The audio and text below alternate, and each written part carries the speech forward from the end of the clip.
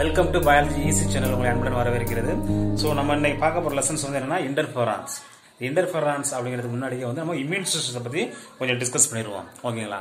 So immune சிஸ்டம்ஸ்னா என்ன அப்படிங்கிறதுக்கு முன்னாடியே பாருங்க ஒரு ஆன்டிஜென்ஸ் ஆன்டிபாடி ரியாக்ஷன்ஸ் தான் ஒரு இம்யூன் சிஸ்டமே இப்போ ஆன்டிஜென்ஸ்னா என்ன அப்படின்னா நம்ம பாடியில் வந்து ஏதாவது வேற வேற ஏதாவது ஒரு சப்ஸ்டன்ஸ் ஃபாரின் பார்ட்டிகல்ஸ் அது வைரஸ் இருக்கலாம் பாக்டீரியா இருக்கலாம் ஃபங்கா இருக்கலாம் டஸ்ட்டாக இருக்கலாம். ஸோ ஏதோ ஒன்று வந்து உள்ளரிக்கு வருதுன்னு வச்சுக்கலையே அதான் ஆன்டிஜென்ஸ் ஓகேங்களா?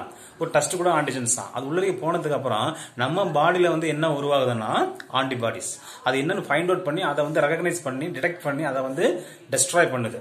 ஃபார் எக்ஸாம்பிள் பி செல்ஸ்லாம் இருக்கு. அதை வந்து கில் பண்ணுது. கில்லர் செல்ஸும் இருக்கு.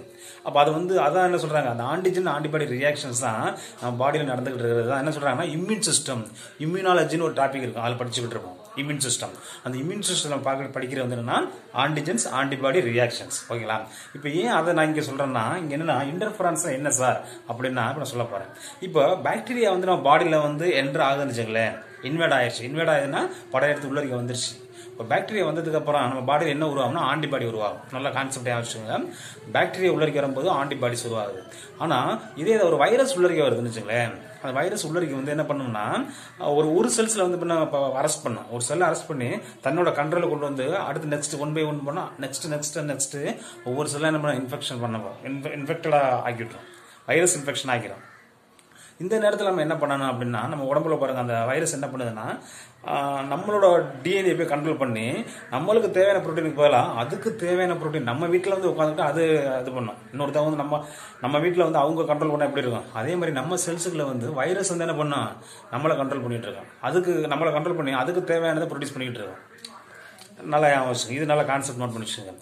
அப்போ ஒரு பாக்டீரியா வந்து ஒரு செல்லுக்குள்ள என்றானா உருவாகிறது ஆன்டிபாடி அதே நேரத்தில் ஒரு வைரஸ் வந்து நம்ம உடம்புக்குள்ள உருவா வந்துச்சுன்னா அதுக்கு வந்து இந்த வைரஸை கில் பண்ணுறதுக்கு நம்ம உடம்புக்குள்ள வந்து ஒரு ஒரு ப்ரோட்டீன் சப்ஸ்டன்ஸ் உருவாகுது. அந்த சப்ஸ்டன்ஸ் பேர் தாங்க இன்டர்ஃபரான்ஸ் ஓகேங்களா? வைரஸ் வந்தால் மட்டும்தான் இன்டர்ஃபரான்ஸ் வந்து உருவாகும். அப்போ இன்டர்ஃபரான்ஸ் கான்செப்ட் நோட் பண்ணிச்சுங்க ஒரு வைரஸ் வந்து ஒரு ஹியூமன் பாடியில் என்ட்ரானுச்சுன்னா அதை வந்து கில் பண்ணுறது வைரஸை கில் பண்ணுறதுக்காண்டி ஒரு ரெடியாக வந்து ஒரு ப்ரோட்டீனை ப்ரொடியூஸ் பண்ணுது. யாருன்னு டிடெக்ட் பண்ணி ஒரு ப்ரோட்டீனை ரெடி பண்ணுது.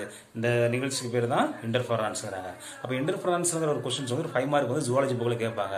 அப்போ இந்த கொஸ்டின்ஸ் கேட்டால் எப்படி எக்ஸாமினேஷன் பாயிண்ட் ஆஃப்ல ப்ரெசென்ட் பண்ணுறது எப்படி வந்து ப்ரெசன்ஸ் அந்த பாயிண்ட்ஸ் வந்து மேக்கப் பண்ணுறது அப்படின்னு சொல்லி ஒரு ஃபைவ் மார்க் கொஸ்டின் கண்டிப்பாக கேட்கக்கூடிய கொஸ்டின்ஸ் இன்டர்ஃபரன்ஸ் வெரி இம்பார்ட்டன்ஸ் ஓகேங்களா ஸோ இன்டர்ஃபரான்ஸ் என்னன்னு சொல்லி பார்க்க போகிறோம் ஓகேங்களா இன்டர்ஃபரான்ஸ் இந்த இன்டர்ஃபரான்ஸுங்கிறது proteinous substance proteins one one of the proteins cytokinin அப்படிங்கிற ஒரு ப்ரோட்டீன்ஸ் ஒரு ப்ரோட்டீன்ஸ் ப்ரோட்டீன்ஸ் உங்களுக்கு தெரியும்? Protein substance anti virus anti virus ஒரு வைரஸ் நம்ம பாடியில் இன்ஃபெக்ஷன் ஆகும்போது நம்ம பாடியிலேருந்து உருவாகிறதா இன்டர்ஃபரான் வைரஸ் பாடியிலேருந்து கிடையாது. நம்மளோட உடம்புல இருந்து அந்த வைரஸை கில் பண்ணுறதுக்கான உயிர் எதிர்ப்பொருள் உருவாகிற நிகழ்ச்சிக்கு பேர் தான் என்ன சொல்றாங்கன்னா? ஆன்டி வைரஸ் அது ஆன்டி வைரல் அந்த இன்டர்ஃபரான் ஓகேங்களா? ஆன்டி வைரஸ் அந்த ஆண்டி அந்த ஆன்டி வைரல் எஃபெக்ட் வந்து யாருக்கு இருக்குன்னா இந்த interferons okay The next, when infected the body, produce the specific substance.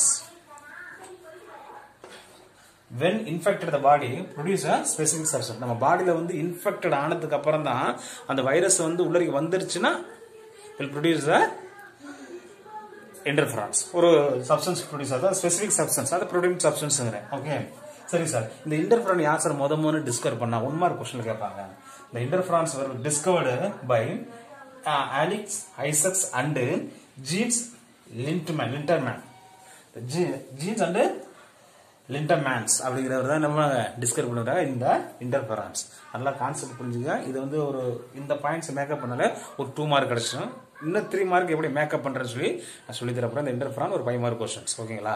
இன்டர்ஃபரான்னா virus வந்து நம்ம பாடியில் வந்தா இப்போ இந்த வைரஸ் என்ன சார் பண்ணுது அப்படின்னா வந்து அந்த டிஎன்ஏ வந்து என்ன பண்ணுது? நம்மளோட டிஎன்ஏ வந்து அதோட டிஎன்ஏ பண்ணி பண்ணிவிட்டு அதை வந்து ஆக்டிவேட் பண்ணிவிடுது அப்போ வைரஸ் இன்ஃபெக்ஷன் ஆனிச்சுன்னா என்ன ஆயிரும்? ஒரு வைரஸ் உள்ள வரைக்கும் வரும். குயிக்காக மல்டிப்ளை ஆகும். வைரஸ்னாவே என்ன தெரியுமா? பாய்சன் அது வந்து ஒரு லேர்ட்டின் வேர்டு ஒரு பாய்சன் மீனிங் அப்போ அது வந்து வைரஸோட கேரக்டர்ஸ் வந்து லிவிங் நான் லிவிங்காக இருக்கும். வைரஸ் கொள்றதுக்கான உயிர் இதுக்குள்ள நம்ம பாடியில் இல்லை கிடையாது. அப்போ இன்டர்ஃபரானை ட்ரை பண்ணி என்ன பண்ணும்? மற்ற செல்லில் வச்சு டெஸ்ட்ராய் பண்ணதெல்லாம் முயற்சி பண்ணுற நிகழ்ச்சி தான் இது இன்டர்ஃபரான் பாருங்கள் The interferons are three types. Alpha, beta and gamma. There are three types of interferons இருக்கு ஒரு மாதிரி கொஸ்டின் கேட்டாங்க அடிச்சிருங்க நெக்ஸ்ட் பாருங்க. The stimulate the cellular DNA நம்ம பாடியில் உள்ள டிஎன்ஏ இருக்குல்ல அதை வந்து ஸ்டிமுலேட் பண்ணி விடுது. எதுக்கு? ஸ்டிமுலேட் பண்ணி ஆன்டி வைரஸ் அந்த ஆன்டிவைரல் என்சைம் வந்து ப்ரொடியூஸ் பண்ணணும்னு சொல்லி ஸ்டிமுலேட் பண்ணி விடுது interferon okay stimulate the cellular DNA produce the antiviral enzyme அப்போ ஆன்டிவைரல் என்சைம் ப்ரொடியூஸ் ஆயிடுச்சுன்னா அந்த ஆன்டிவைரல் என்சைம் வந்து it will destroy the virus DNA okay so inhibits inhibits means inhibits தான் வைரல் ஜீனம்ஸ் அதான் இன்கிபிட்ஸ்னா ஸ்டாப் பண்ணுறது பிரேக் பண்ணுறது stop பண்ண தடுத்து நிறுத்துறது. அந்த வைரஸ் டிஎன்ஏ வந்து டெவலப் ஆகாமல் நிறுத்தணும். அதான் இன்டர்ஃபரன் பண்ண போகுது. ஓகே இந்த interferons isolated from the blood interferon வந்து நம்ம பிளட்ல இருந்து ஐசோலேட் பண்ணி ஐசோலேஷன் இல்லை பிரித்து எடுக்கலாம். பட் இந்த பிளட் ரிக்கையர்டு மோர் நிறைய பிளட் தேவைப்படுது. அஞ்சு லிட்டருமே எடுக்கிற மாதிரி இருக்கும். அப்போ என்ன பண்ணுறது உயிர் வாழ முடியாதுல்ல. ஸோ அப்போ அதனால என்ன சொல்கிறாங்கன்னா ஸோ நாட் ப்ராக்டிக்கல் இந்த பாயிண்ட்ஸ் முக்கியமாக வந்துடுறாங்க but blood is required more not practicals ப்ராக்டிக்கலாக வந்து அப்ளிகபிளாக ஆகாது.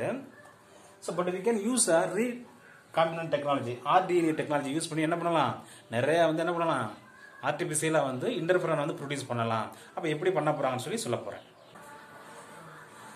சரிங்க சார். இப்போ இந்த ரீகாமினன்ட் டெக்னாலஜியில் வந்து இன்டர்ஃபரான் ப்ரொடியூஸ் பண்ணுறாங்க அதுக்கு என்ன அதை செலக்ட் பண்ணிக்கிறாங்கன்னா நார்மலாகவே வந்து ஈக்குவலை பாக்டீரியா வந்து செலக்ட் பண்ணிக்கிறான் வெக்டாரா ஈக்குவலை பேக்டீரியா தான் செலக்ட் பண்ணிக்கிறாங்க. பட் ஹியர் எதை யூஸ் பண்ணிக்கிறாங்கன்னா ஈஸ்ட் ஈஸ்ட்னா இங்கே புக்கில் ஒரு பாயிண்ட் செக்கரோமைசிஸ் சர்வீஸ் அப்படிங்கிறது வந்து அது என்னது பொட்டானிக்கல் பாருதான் இந்த ஈஸ்ட் ஈஸ்ட்ங்கிறது என்னன்னா ஒன் ஆஃப் த ஃபங்கை இந்த ஃபங்கையோட அந்த ஃபங்கை எடுத்து அந்த yeast is one of the more suitable for production of the interferons அப்போ என்ன கொஸ்டின் உண்மைகள் கேட்கலாம். அப்போ இன்டர்ஃபரான் ப்ரொடியூஸ் பண்ணுறதுக்கு வந்து எதை வந்து வெக்டார் யூஸ் பண்ணுறாங்க எதை எடுத்துக்கிறாங்க அப்படின்னு சொல்லி கேட்டாங்கன்னா ஒன் என்னது?